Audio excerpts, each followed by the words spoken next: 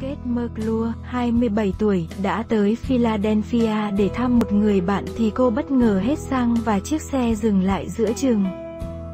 Cô gái rất lo lắng vì chưa bao giờ gặp phải tình huống như vậy trước đây, cô không biết phải làm gì, nhưng may mắn thay cô đã gặp một người tốt bụng hóa ra là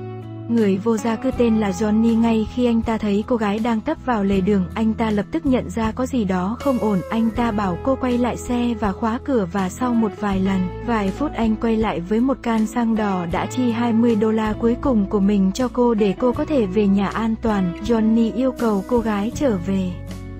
để khóa cửa trong xe và không phải vì sợ rằng anh ta sẽ phá tiền, anh ta sẽ bắt đầu xôn xao, nhưng vì bên ngoài nó không an toàn, nên kết không thể trả tiền. Ngoài lời cảm ơn đơn giản của con người, sau đó vài tuần cô ở cùng một chỗ cô cho anh tiền xăng và áo khoác.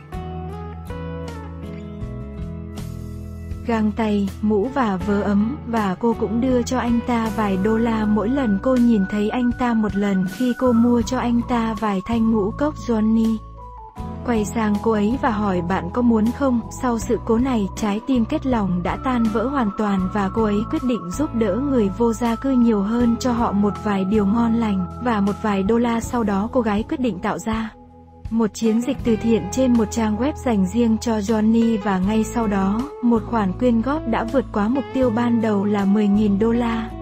Người dùng với sự nhiệt tình đáng kinh ngạc tiếp tục chuyển tiền và chẳng mấy chốc số tiền quyên góp đã đạt tới 100.000 đô la sau khi đạt được số tiền 100.000 đô la. Anh ta yêu cầu kết đình chỉ công ty vì anh ta không muốn mọi người nghĩ rằng anh ta đơn giản quyết định lợi dụng tình hình, tuy nhiên sau đó kết lại ra mắt.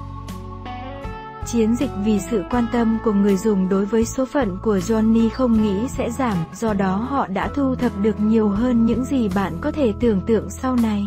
Trong một thời gian, anh ấy đã không biết thông tin về bản thân mình khi phục vụ trong thủy quân lục chiến. John là một chuyên gia về đạn dược, sau đó anh ấy đã làm việc như một lính cứu hỏa và làng. Phô mai trước khi khó khăn đến với anh, Kết đã quyên góp tiền cho Johnny đã gây quỹ sẽ đi trả tiền thuê một căn hộ một chiếc xe đáng tin cậy và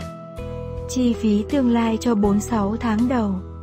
Kết giải thích mục đích gây quỹ trên trang web của công ty, Johnny rất thích tìm việc tôi nghĩ rằng nơi anh ta có thể rửa và làm thế nào để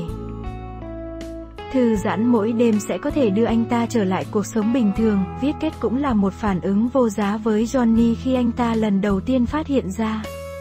Chiến dịch từ thiện được sắp xếp để vinh danh anh ấy và chúng tôi đã kiếm được bao nhiêu tiền với sự giúp đỡ của nó, thật đáng kinh ngạc đó là những lời đầu tiên của Johnny. Sau đó, các chàng trai bắt đầu nói với anh ta có bao nhiêu người và họ đã quyên góp bao nhiêu tiền và Johnny ngồi và không thể tin vào hạnh phúc của mình bằng mọi cách. Bài đăng mới của John John John không muốn kiếm việc làm tại một nhà kho của Amazon ở Robin Park, New Jersey và một nhà tuyển dụng trả lời rằng anh ta đã sẵn sàng giúp một người đàn ông có một vị trí trong công ty và trong thời gian đó, tại thời điểm viết bài, số tiền quyên góp đã hơn 350 ngàn đô la khi một người đàn ông vô gia cư tên là Johnny đưa 20 đô la cuối cùng của mình, nó không giống như một khoản đầu tư tuy nhiên họ đã trả lại cho anh ta rất nhiều. Lòng tốt cổ tức và sự hy sinh bản thân là những phẩm chất quý giá nhất đang trở nên ít phổ biến hơn ngày nay vì vậy John không xứng đáng với mọi xu được quyên góp. Cũng không nên quên giúp đỡ những người cần giúp đỡ, nhưng bạn sẽ làm gì ở nơi Johnny Johnny? Viết về nó trong các bình luận cũng đừng quên thích và đăng ký kênh sẽ có nhiều điều thú vị hơn.